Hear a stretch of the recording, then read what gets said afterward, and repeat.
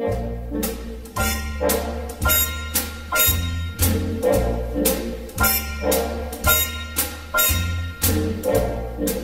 Pablo.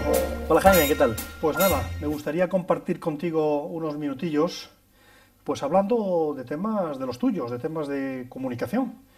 Y me gustaría hablar sobre todo de comunicación en la red. Alguien dirá, ¿y eso de la red qué es? Un pescador tirando y la red. Eh, la comunicación en la red. Eh, yo sé que tú eres un bloguero con montones de visitas. ¿Cómo entras en, la, en el mundo de la blogosfera? Y cuéntanos un poco cómo alimentas ese blog tan maravilloso que tienes. Bueno, el blog es una pasión compartida, como bien sabes tú que eres, que eres otro bloguero de pro, y, es de las cosas más bonitas que hago en mi trabajo y en mi vida personal, porque es muy gratificante, no se hace por dinero, no se hace con, con, un contenido de un trabajo que te impone un tercero y para el que estás trabajando y tienes que hacer una estrategia ajena, sino que decides qué hacer. ¿no? En mi caso, escribir de comunicación, que es eh, la materia en la que dedico mi, mi día a día, lo que asesoro en, a empresas en comunicación. Tú eres periodista, ¿no? Yo soy periodista y entonces asesoro a empresas en gabinete de prensa y en estrategia de comunicación 2.0. Entonces, bueno, pues para mí el blog fue una herramienta eh, básica hace casi cuatro años para empezar a entender este mundo, este nuevo eh, entorno de la red, de la web social, la web 2.0. Y, claro, yo sí quería tratar con blogueros y quería saber cómo pensaba un bloguero, porque tenía que asesorar a empresas en esto, tenía que ser uno de ellos, ¿no? Tienes que convertirte en uno de la tribu. Y, y bueno, lo hice un poco así, con esa disciplina de me voy a convertir en bloguero y tengo que escribir de algo, ¿de qué puedo hablar yo? Pues de comunicación. Pero luego eh, cada vez te vas apasionando más, te vas metiendo en la piel y disfrutando cuando ves que un contenido tuyo es útil para algo o para alguien. Y, bueno, cada vez la verdad es que es más gratificante, a pesar de que, mm, como bien sabes tú, es muy sacrificado, porque bueno, pues te quita tiempo de tu trabajo, de tu día a día y sobre todo de tu vida personal. Del tiempo ese que podías estar viendo una película o leyendo un libro, pues muchas veces lo dedicamos a darle vueltas a un tema que a lo mejor te lleva media hora escribirlo, pero en cambio te ha llevado cuatro o cinco horas documentarte para no meter la pata porque casi nunca sabes bien de qué estás hablando. ¿no? Oye, en, los blogs y en el tuyo en concreto eh, se suelen abrir bastantes debates, ¿verdad? Gente que opina, gente que participa, gente que que está inconforme, gente que te da la razón. Eh, es interesante, ¿no? Yo creo que mucho. Eh, hay un defecto que tenemos los blogueros y los blogueros pesados como yo más, que es escribir muy largo. Entonces eso hace que la gente llegue tan agotada al final del, del artículo, del post, que ya no hay debate ninguno. Entonces aprendí que no lo aplico siempre y es, es muy, buena, muy buen consejo, no lo aplico casi nunca, la verdad. Eh, a escribir mucho menos de lo que dirías, porque de esa manera un trocito de lo que ibas a contar en ese artículo te lo va a decir un comentarista que dice, bueno, me ha dejado este hueco, pues voy a rematar lo que ha hecho, ¿no? Que, es lo más bonito del blog, que la gente te enriquezca y sobre todo, eh, más todavía, que te digan que no tienes razón, que te has equivocado en el enfoque. A mí, de verdad que me, sin falsa modestia, me encanta porque aprendo mucho de los comentarios, vamos. Artículos pequeños o largos, lo que no cabe duda es que tú en tu blog has logrado generar polémica. Eh, los que nos van a ver en mi blog saben que tú has intervenido en todo el tema de la noria. El pues famoso tema de la noria, que, ahí está vivo y coleando. Cuéntanos en, brevemente ¿qué, qué pasa, cómo ha surgido todo el tema de la noria. Pues sí, efectivamente, polémica a mi pesar, porque no soy un especial polemista ni tengo ánimo de, de, buscarme enemigos, ¿no? Pero sí, yo inicié esta historia eh, porque hace dos años y medio, bueno, hace mucho tiempo que esto me, me, llega a las tripas, ¿no? El, el, que un delincuente o que su entorno, por un delito grave como es un asesinato, como eh, ese tipo de, delitos, se enriquezcan eh, a costa de hablar del delito en televisión. Entonces, a raíz de unas declaraciones de Antonio Puerta, el agresor del profesor Neira, decidí con esos esfuerzos de los blogs eh, hacer una consulta a 30 blogueros y periodistas, pues como Juan Ramón Lucas, Carlos Salas, chica de la tele, mucha gente, mm, preguntarles qué les parecía que un delincuente pueda ir a televisión a hablar de su delito y a cobrar por ello. Y esa fue la primera vez que yo hablé del tema, sin ir contra ninguna cadena en especial. Y luego hablé de un reportaje que hizo cuatro de Farruquito, que también me, repugnó. Y en ese reportaje, hablando de los comentaristas, fíjate cuán importantes son, en ese reportaje alguien me dijo, oye, ¿por qué no en vez de eh, regañar a la televisión o regañar a los espectadores, no pones el acento en las marcas? dije, pues mira, qué, qué, brillante, el eslabón más débil de la cadena, ¿no?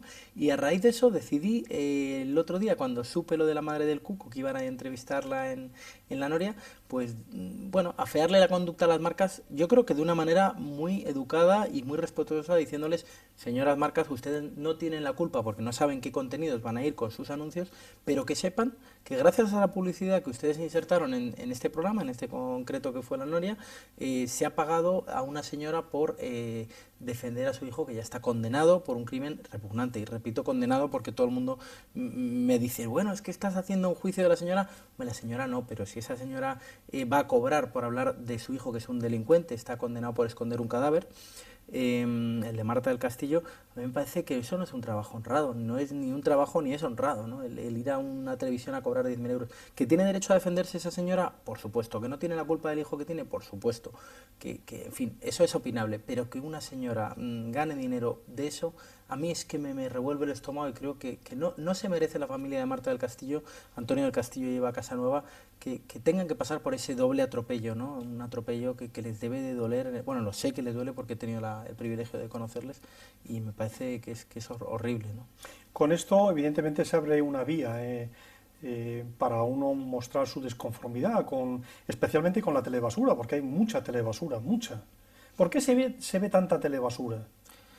Buena pregunta. Eh, lo primero de todo, a mí me gustaría subrayarte, Jaime, que yo no tengo nada en contra ni de quienes la ven, ni de quienes la producen, ni de los programas en concreto. Lo que sí eh, quiero o, me gustaría haber conseguido, y, ojalá sea así, es que no se vuelva a producir una situación tan dramática de perversión de valores para la sociedad. O sea, si luego una señoritinga que no tiene vida o un señoritingo que no tiene vida eh, quieren ir a contar su no vida a la televisión, que lo hagan y que si la gente lo quiere ver, encantado que lo, que lo vean. Yo no soy nadie para restringir contenidos a nadie ni para cortar la libertad de expresión, pero, pero mm, esto al final lo que tiene que pasar es que haya un límite infranqueable y creo que ese límite es sano y es bueno y bueno para todos. A mí me parece que esta iniciativa de la que yo fui creador, pero que no soy el, el, responsable, en el sentido de que yo creé este contenido, pero este contenido no ha triunfado porque yo lo escribí.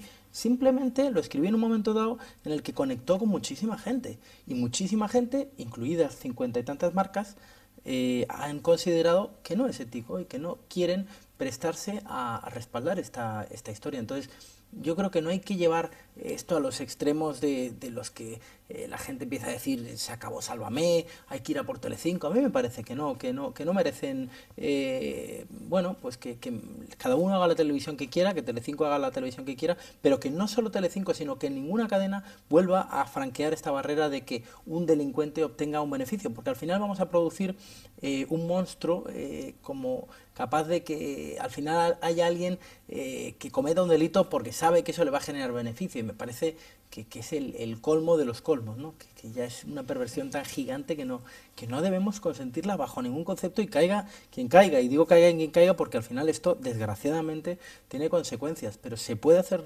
televisión eh, de una manera responsable y se puede hacer una televisión picante, eh, agradable, desagradable, con humor, con sexo, con lo que se quiera, pero eh, no faltando unos valores que creo que son mínimos eh, y yo creo que eso lo puede hacer Telecinco perfectamente y lo puede hacer cualquier cadena. A mí me parece que, que es mucho, eh, mucho más el ruido de, que se ha generado que, que al final la iniciativa lo único que perseguía, por lo menos por mi parte, era esta cosa tan concreta de que un delincuente ni su entorno se enriquezcan por hablar de su delito. Algo muy sencillo en principio. Pues me parece fenomenal. Somos muchos los que pensamos de esta manera y en cierto modo nos abren los ojos para cosas que podamos hacer en el futuro, porque evidentemente la televisión a veces es que es imposible verla. ¿eh? Es imposible verla. Sí, decías que cómo, que cómo a partir de ahora se va a poder hacer. Yo creo que siempre se ha podido hacer, pero quizá en este caso se ha demostrado más que en otros, porque probablemente otras veces hemos luchado de muchísimos individuos contra un solo ente, ¿no? Un partido político, eh, una empresa, una organización del tipo que sea, y, eso es muy difícil. En este caso se ha dado una circunstancia curiosa, que es que había pues 50 centros de decisión, que son los 50 centros de las marcas, a los que hemos cogido con el pie cambiado y han dicho, pero bueno, esta gente nos viene a nuestros muros de Facebook a protestar de manera educada, vienen a Twitter a decirnos que lo estamos haciendo mal, bueno, es que me dan ganas casi de, de, pegarles una chuchón, ¿no? Más que de, de reprenderles. Entonces, al final, esa, dispersión de la decisión que me lo comentaba el otro día Julio Alonso, un, tipo interesantísimo de la blogosfera también, es lo que ha producido que al final una marca, en concreto Campo Frío, diera el primer paso y las demás se vieran pues fuera de juego, ¿no? Y, al final es lo que ha producido que, esto haya sido una bola de nieve que ha ido creciendo eso unido a la mala gestión, creo, eh, por parte de Telecinco en la comunicación, que es que lo han hecho eh, francamente mal, ¿no? Han echado gasolina al, incendio y lo han conseguido encender mucho más de lo que hubiera estado si al final, si al principio de la historia salen a pedir perdón y a decir no vamos a volver nunca más a, contratar un contenido de este tipo, ¿no? Muy bien, Pablo, pues eh, muchas gracias por todo lo que nos has contado. Supongo que mucha gente que nos verá le quedará mucho más claro el tema te volveré otra vez a entrevistar con otros temas porque tu blog me apasiona. O sea que tu blog dará motivo para que nos veamos más. Espero que sí, sobre todo espero que sean motivos más alegres porque, bueno, al final esto ha generado una polémica yo creo que, lamentable. Muy buena, polémica muy buena. Muy, interesante y de verdad que espero que sea positiva para que una televisión mejor nos alumbre a todos, pero me da pena los efectos colaterales que tiene, pues quizá la, mala gestión de quien debía haber mm. tomado mm. eh, las riendas de este asunto antes. Pero seguro que nos vemos otra vez y encantadísimo y para hablar de temas más, más alegres. Muy bien, Pablo. Hasta la próxima. thank you.